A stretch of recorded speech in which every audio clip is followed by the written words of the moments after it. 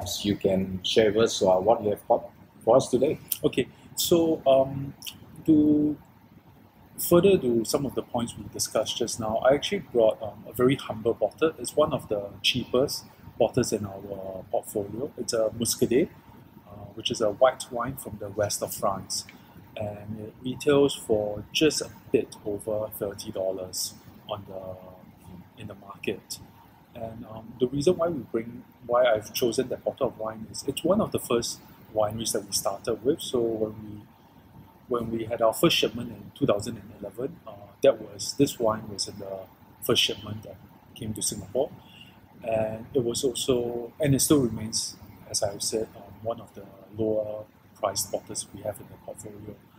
But regardless of that price, we still elect to ship it in a what we call refrigerated container, and we still elect to store it with Singapore Wine Vault at uh, 12 degrees Celsius, and that's because we know how much work the winemaker has put into that bottle of wine, even though it's not expensive.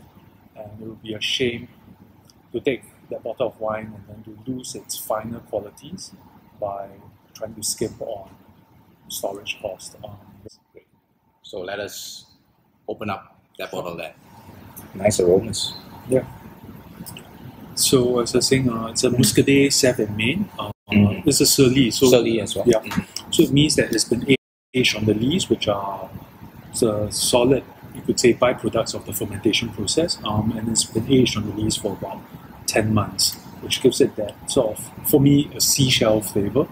Yeah, it has a little bit of um, sea breeze uh, or a, little bit of salty tang, That's I, which I detected.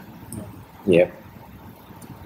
And it, uh, it's a wine that's most, uh, most often used at the table with seafood, uh, especially oysters. Yeah, I mean, if you have the seafood platters, right? Yeah. This is this is an excellent choice. Then.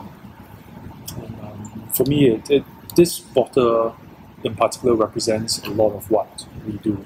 So it's a, you could say it's a humble wine. It's not expensive. It is farmed organically. Um, the certification is, is on the back label. And it's what we call an honest wine. So it speaks of where it comes from. So it comes from the area around Nantes, um, which is a port town Yeah. facing the Atlantic Ocean. And it's, for me, unmistakably French. There's a lightness, there's a je ne sais quoi about it that uh, you don't get with wines from other countries. Yeah, this is so fresh.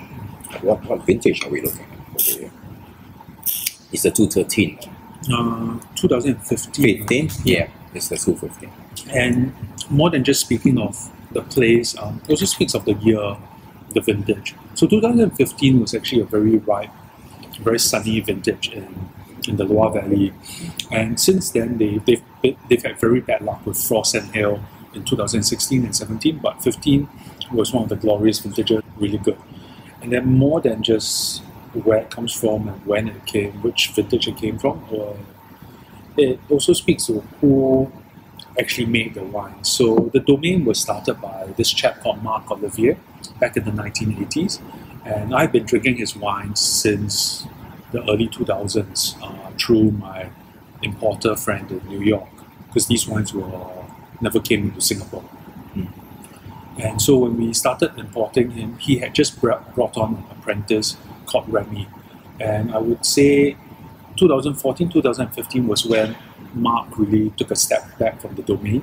He now spends far more time fishing and hunting Mhm. and doing the things that he wants to do apart from farming. Uh, and Remy is the one who's making the wine. So he's got a slightly different touch, uh, which is apparent to, to someone like us because um, we're so familiar with the wines.